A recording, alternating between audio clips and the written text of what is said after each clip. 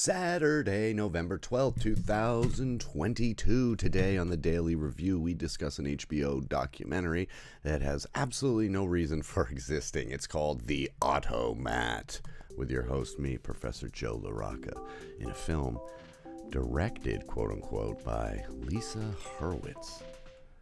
And I feel like she maybe just knew Mel Brooks and was like, I want to make a documentary. Sorry, I won't be so mean about it. It's because it's kind of it's an interesting old timey idea. It's about these the Hart and Harton or whatever Harold and Harton automats, which were just restaurants basically that were vending machines built into the wall, and they were popular in the 40s and 50s in Philly and in New York, and there was a bunch of them.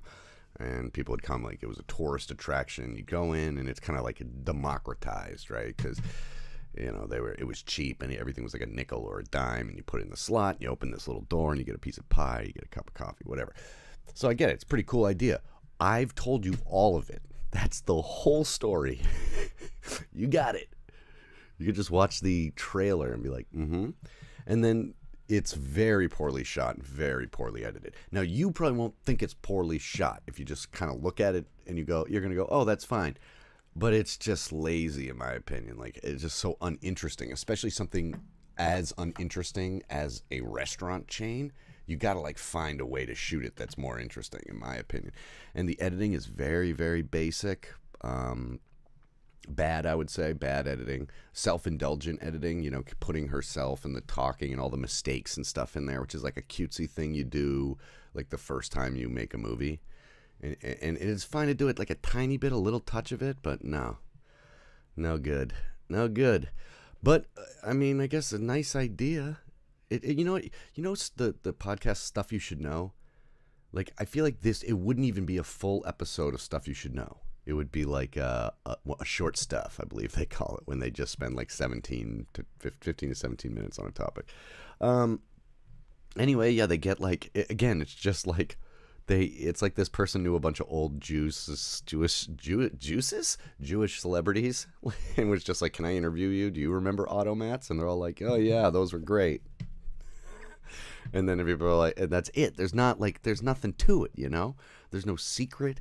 There's no crazy backstory where it's like it was actually Hitler's favorite diet. And it's nothing. There's nothing going on. Um, it's as bewildering as that look. And then to put Mel Brooks like on the poster. I don't know. Feels like a cash grab. anyway, uh, it's a short episode today. I really don't have much to say to uh, it. You can like and subscribe if you like to subscribe. I'm here every day. You can be here as much as you want. Um, it's a it's a hot it's a hot 70 degrees here in Boston, which is strange.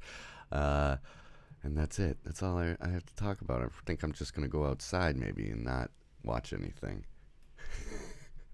Anyway, good try. This would have been a great little like 17, 20, maybe 25 minute little YouTube documentary, but it was kind of shocking to see it uh, with the heights of what HBO documentaries can be. We've seen them kind of release some of the best documentaries ever made. So uh, it's very surprising. This one just feels like you know some like a, a nepotistic endeavor but I do wish they were still around. It would be great to have an automat where you don't have to interact with people.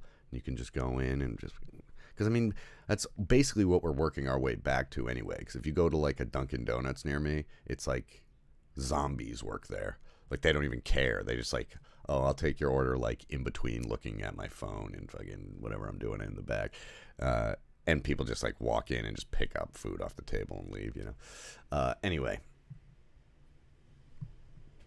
take that, someone who tried to make a documentary. Uh, okay, bye. I didn't learn anything. Except, too bad, Daddy wasn't in showbiz.